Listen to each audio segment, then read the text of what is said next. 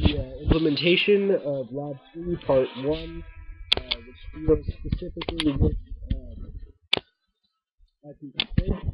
Uh, for this one, we had to clear our internet cache, which I've already taken the liberty of doing. We also need to clear our uh, DNS cache via the command line interface, uh, which has now done.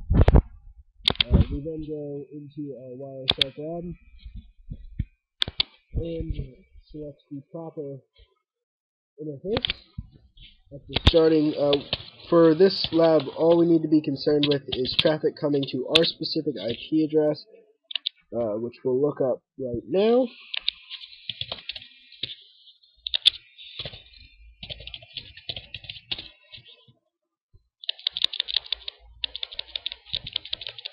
Uh, now you can see my IP address specifically is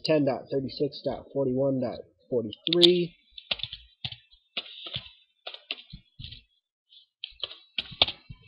So that's all we're interested in querying, and then we go back into our browser, query for this page specifically.